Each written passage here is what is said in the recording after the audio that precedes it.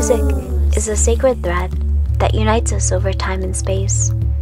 It relinquishes lost memories of those with dementia, aids in rebuilding our neural connections after injury or trauma.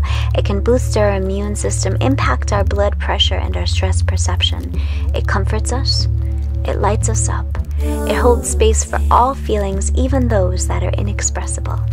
It is instrumental in our rituals, both sacred and in.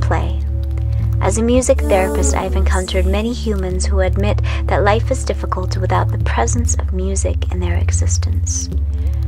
This song is an ode to the wisdom of the elements of music, celebrating their transformational power on our mind, body, and spirit.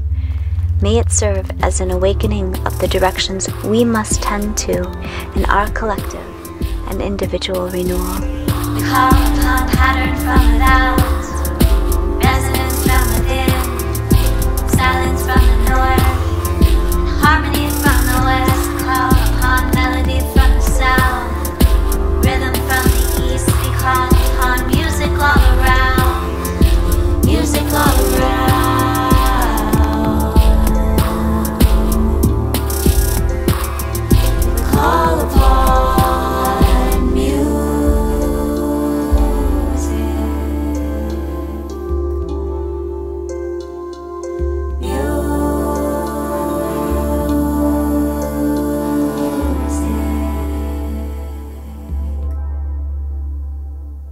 Music.